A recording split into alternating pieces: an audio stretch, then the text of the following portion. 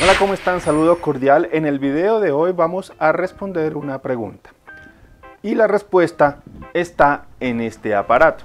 Es un switcher AV o un intercambiador de señal AV que bueno, para esta época prácticamente es un dispositivo que hace una conexión que puede estar ya desapareciendo, pero sin embargo responde a la duda de un usuario quien preguntaba cómo hacer para cambiar la señal de sus aparatos sin tener que estar conectando y desconectando el cable AV. Aquí tienen en primer plano el switcher que he conseguido para explicar cómo funciona.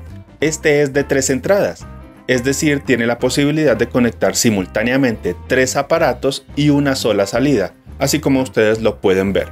El selector AB funciona con cables AB normales, aunque por alguna razón este selector viene pintado con colores rojo, blanco y naranja, pero el naranja es el tradicional amarillo de video que no entiendo por qué razón viene naranja, pero bueno, cuestión de ensamble o de quien sea que haya elaborado este aparato, que es genérico y sí es conseguido en algún lugar de China, pero lo importante acá es la función que cumple. Vamos entonces a ver cómo trabaja el selector AB, el AB switcher o el intercambiador de señal AB, como quieran llamarlo. Para hacer el ejemplo entonces me conseguí un decodificador de televisión por cable. Podría ser también un decodificador TDT o televisión abierta.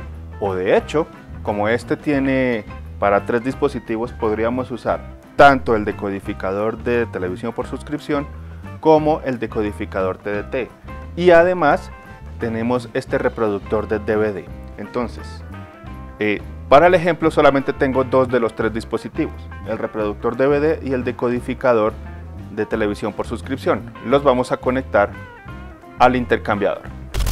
Para hacer las conexiones es muy sencillo.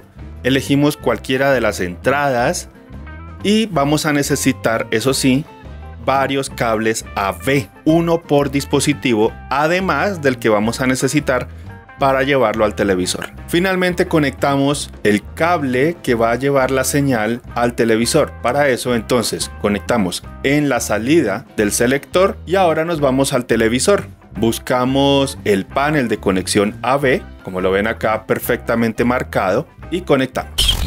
Hacemos una pausa para invitarlos a que se suscriban al canal, si no lo han hecho, a que compartan este video a más personas que pueden tener esta misma inquietud, a que vayan a nuestro Facebook, en donde también estamos dejando contenidos para ustedes, ya que le den super gracias al canal, porque de esa manera estamos mejorando en la creación de contenidos.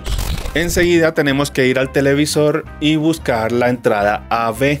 La seleccionamos y listo, como ustedes pueden ver aquí, al seleccionar inmediatamente ya nos va a dar la señal del dispositivo que esté encendido. En este caso es la televisión por suscripción la que dejamos seleccionada. Fíjense que este botón del medio del cual no les había hablado funciona para eso, para seleccionar la señal que va a ir al televisor. Quedó seleccionado número uno, que es en donde conecté la televisión por suscripción, pero si yo quiero cambiar al DVD, por ejemplo, lo único que tengo que hacer es mover el botón al número 2, que es en donde está el cable del DVD.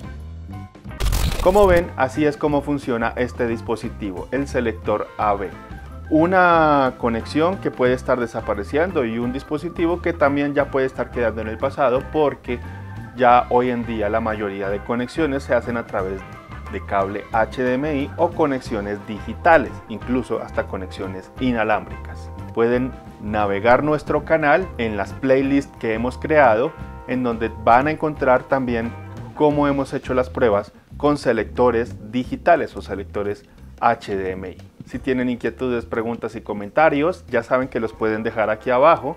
De esa manera los estaré leyendo. Incluso, si se da la oportunidad, también estaremos haciendo videos como este para responder a esas inquietudes.